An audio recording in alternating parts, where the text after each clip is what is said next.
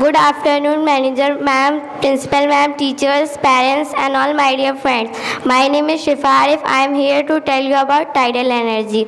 As the moon orbits the earth, its gravity exerts a pulling force on the earth.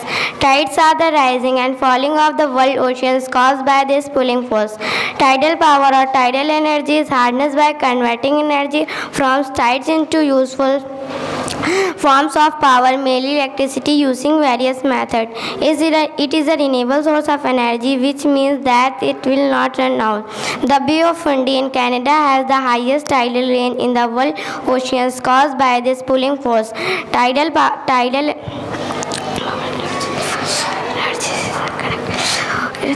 where the height difference between low and high tide water level can 16.3 meter taller than a three story building thank you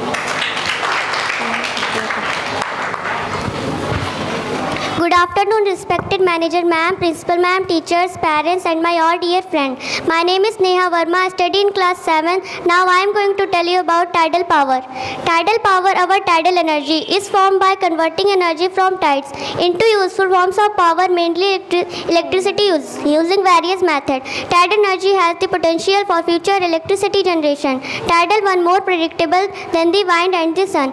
Among source of renewable energy, tidal energy has the traditionally suffered from relatively high cost and limited availability of sites which sufficiently high tidal rank our flow velocities.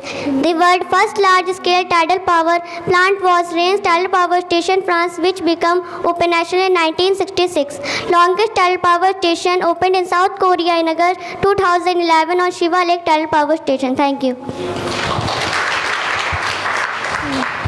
Good afternoon, respected manager, uh, manager ma'am, principal ma'am, teachers, parents, and all my dear friends. My name is Ruchi Singh Chauhan. I study in class 7. Now I am going to tell you about biogas.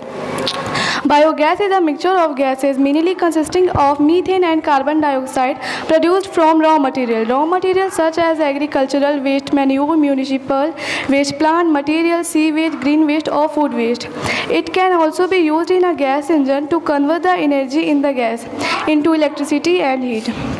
Biogas is biogas is produced by anaerobic digestion with anaerobic orga- organism or methanogen inside an anaerobic digestion, biodigester or a bioreactor. Biogas can be compressed after removal of carbon dioxide, the same way as the same uh, the same way as natural gas is compressed to CNG and used to power motor vehicles. Thank you. Good afternoon, manager ma'am, manager ma'am, principal ma'am, parents, teachers, and all my dear friends. My name is Aman Goswami. I study in class 7th. Now I am going to tell you about wind energy. Wind energy is a form of solar energy. Wind energy describes the process by which wind is used to generate electricity. Wind turbines convert the kinetic energy in the wind into mechanical power.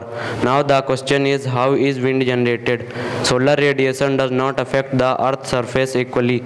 Some areas are warmer than others and in these the air which wavelength tends to rise creating low pressure areas while in colder areas the air descends and wave more creating high pressure areas.